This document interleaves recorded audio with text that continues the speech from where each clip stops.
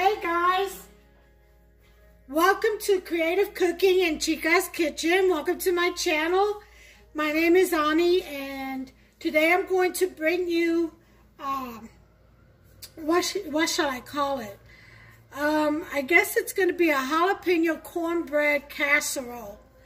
Um, some people call it a Mexican uh, casserole, I, although I don't know why, maybe because of the jalapenos, I guess. Some people call it enchilada, cornbread casserole, cornbread bake or something. Whatever. I'm going to just call it what it is, which is a jalapeno cornbread casserole. And what the reason why I decided on this recipe is because the leftover meat from when I made the Greek lasagna, the pasticcio, um, I figured I could use this in a casserole, a cornbread casserole.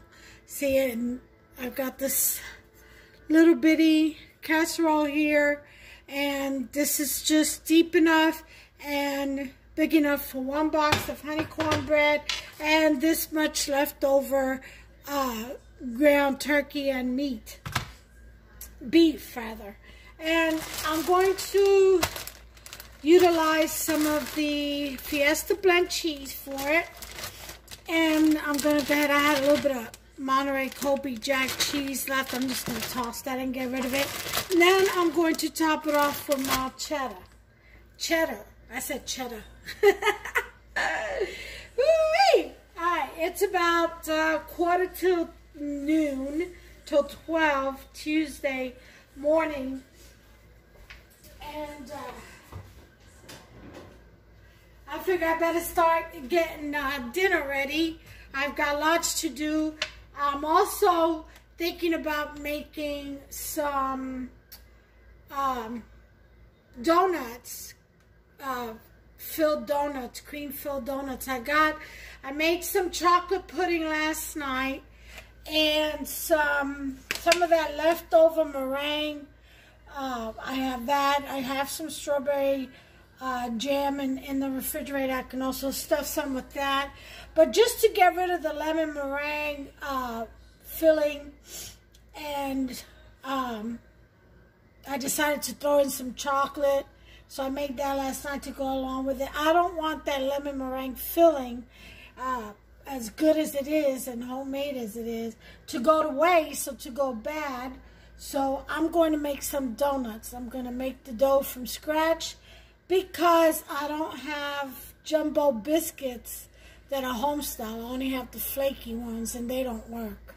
Okay, so anyway, let me go ahead and chop up my jalapenos and I'll be right back. Okay, I've chopped up my jalapenos and I'm also going to put in some Parmesan Romano. I've got, I'm using Almond Breeze uh, milk, unsweetened.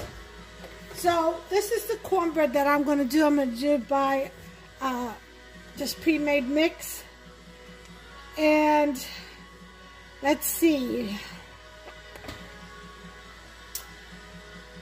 I need two-thirds cup of milk, one-third cup of vegetable oil, and one egg. So, let's get the one egg in here. All right, that's a good egg. Okay. I'm to do two-thirds cup of this milk.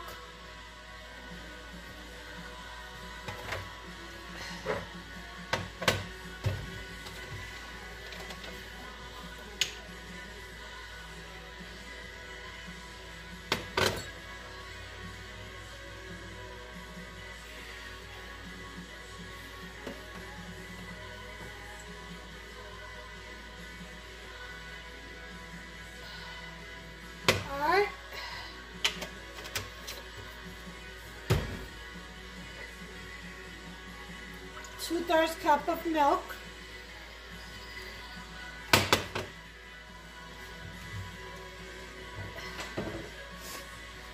Then we're going to do one-third cup of oil.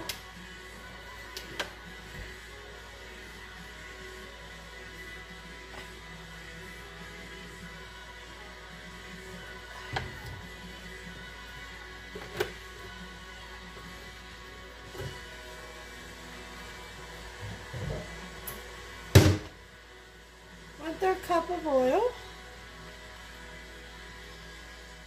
Okay.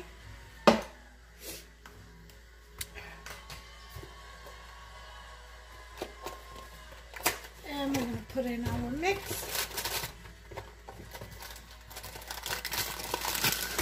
There's mix.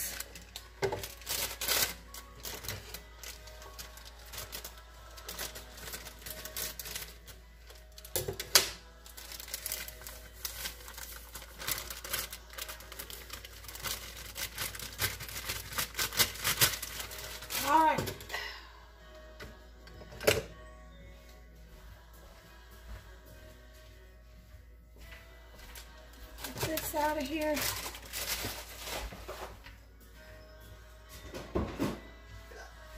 Okay.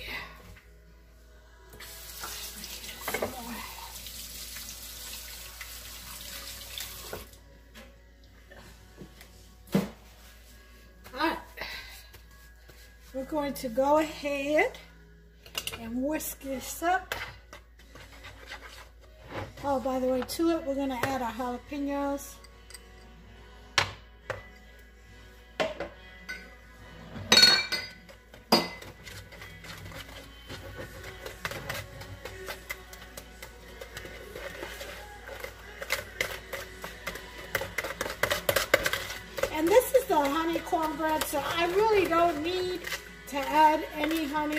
Sugar or anything.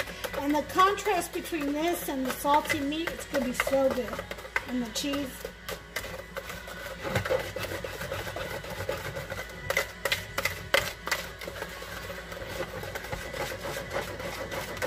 Like I said, this is going to be fairly simple because the meat's already pre-cooked if I didn't have it pre-cooked, I would just pre-cook my meat. I would just cook the meat.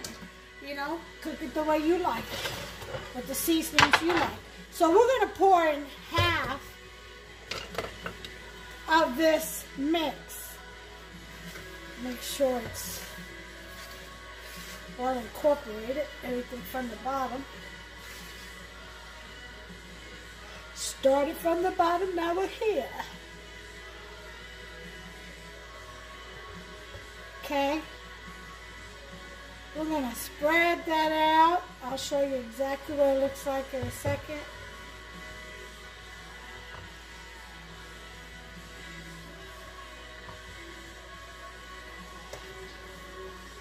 Put a little bit more.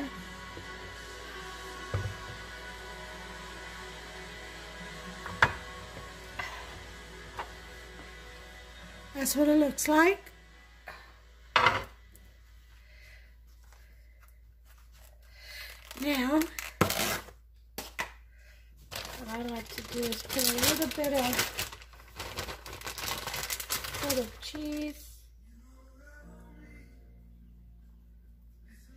Let's go ahead and preheat our oven. Uh, 350.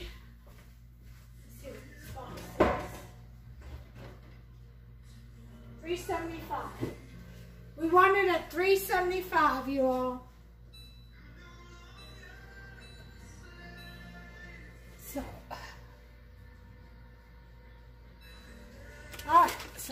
I got my oven preset. I'm using the rest of this Monterey Jack cheese, but I'm going to put some Parmesan Romano. Okay.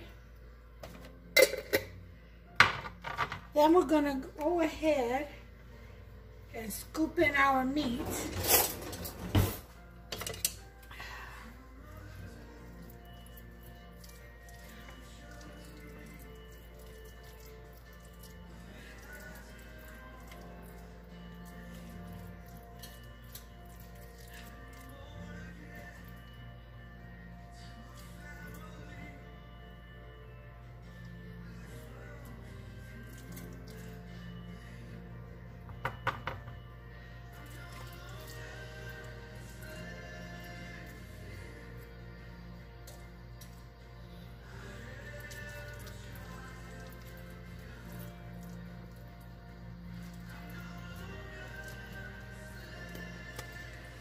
Okay.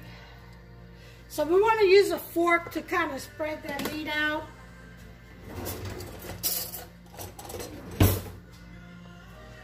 So it doesn't dig into the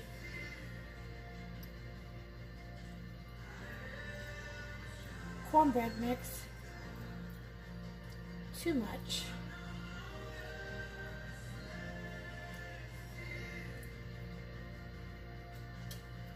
We'll just flake that meat right all around. Spread it all around, flaking it out with the fork. I think this is a bay leaf. Yep, it is. Take that out.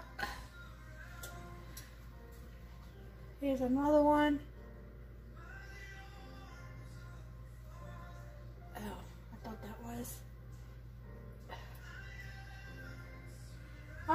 So once you got your meat all spread out,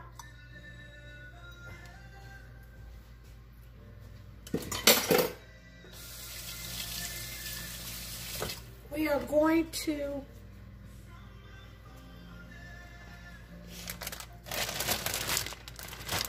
put in some Fiesta blend. Fiesta blend cheese.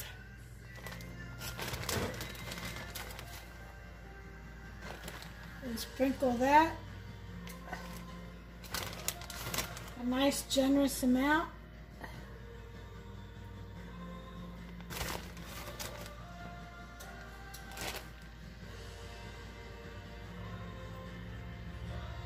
Make sure you get the edges.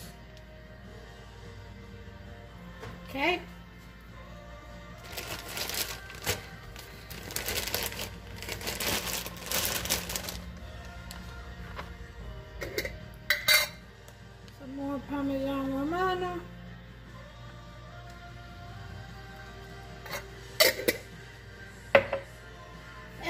Rest of your batter.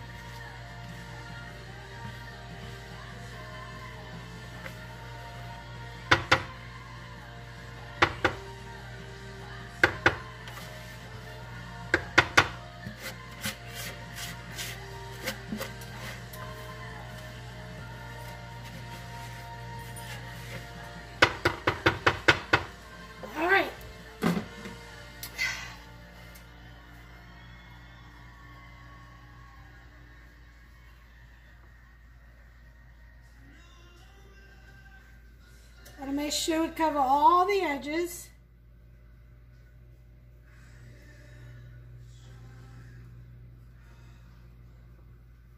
Okay.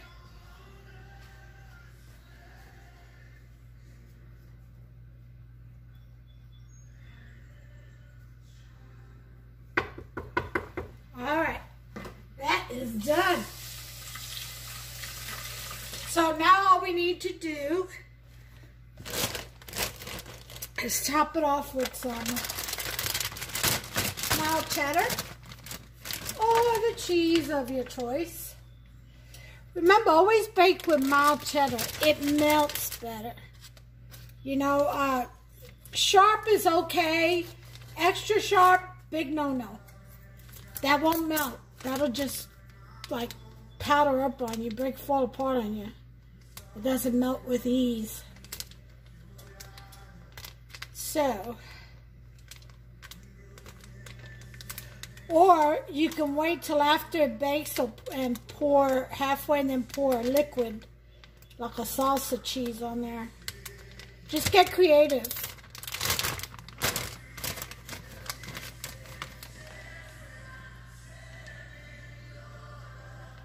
Okay. Let me put it on this side so you can see what I'm doing. That would be a smart thing, only considering you're shooting a video to demonstrate.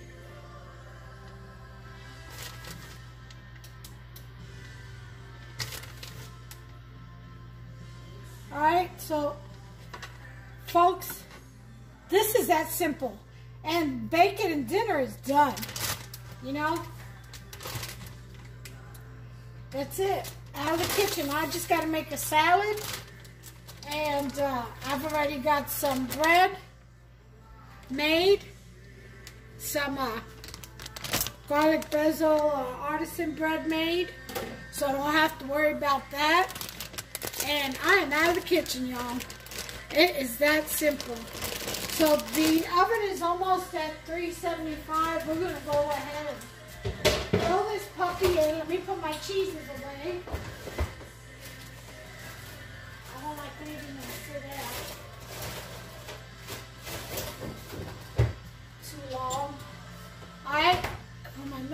Away. So what I'm going to do is as soon as my oven heats up to 375, which is at 340 right now, I'm going to throw this in and bake it for about mm, 30 to, I guess 30 minutes would do. We'll check it after 30 minutes. And then that's it. I'll show you what it looks like. And I'll cut a piece um, just to show you. And that'll be it. That'll be dinner. Isn't that wonderful? So simple. All right, well, I'll bring you back as soon as this comes out of the oven. All right, time went off. I did have to leave it for an hour and 15 minutes in my oven at 375. I did have to tent it with aluminum foil after about 30 minutes. All right.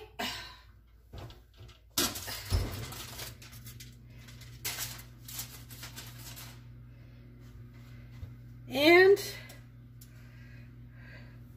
as you can see, I had sliced into it to see that if it was done and it wasn't. So I went ahead and put a little bit of aluminum foil over it to tent it so that the inside can cook.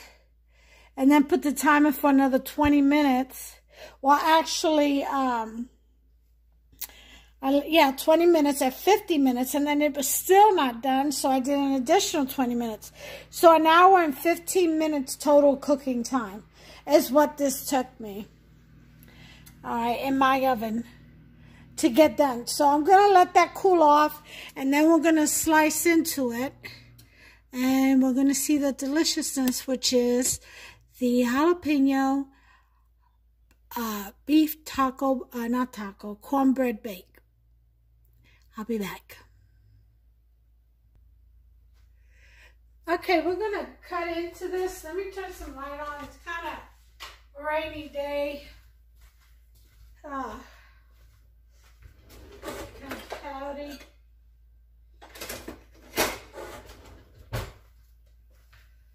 And we're going to cut into this.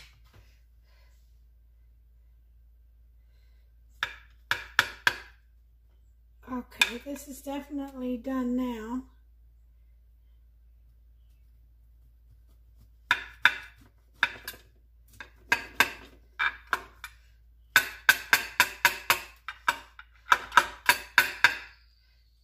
See that? It's done. It's still hot. It's not cooled down as much as I would like it to be. But I have to go ahead and get started on my donut uh, recipe, which I believe I have a video. I'm going to check. I think I do already have a video on, so I don't have to do another one. Woo-wee.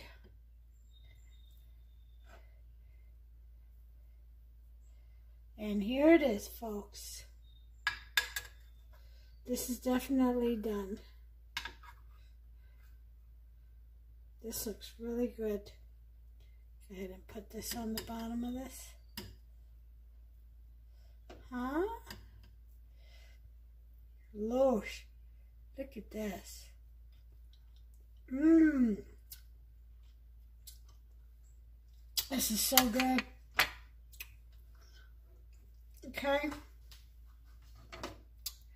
Here it is. This is your cornbread. And you see how the cornbread covers the meat all the way around? You can't even see it except for when you cut it in the middle. Yeah, and I love the corner pieces because of this crispiness right here. Oh, that is so delicious. That little crunch.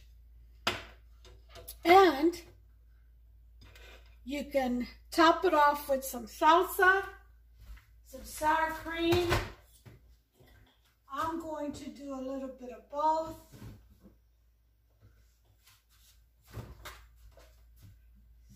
Salsa and sour cream. Mm -hmm.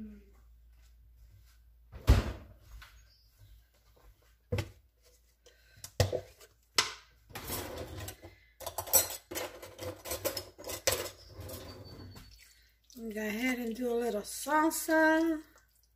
This is uh, the picante medium salsa right here. Top that off. Put some salsa in there.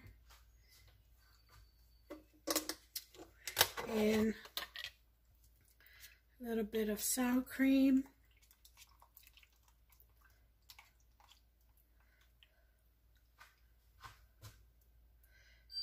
A little dab of you. There we go. All right, y'all, a very simple and delicious recipe. That is my jalapeno cornbread beef casserole. Okay? Make yourself some. It is absolutely delicious. Until the next recipe, you all take care of yourselves and one another. Bye. God bless you.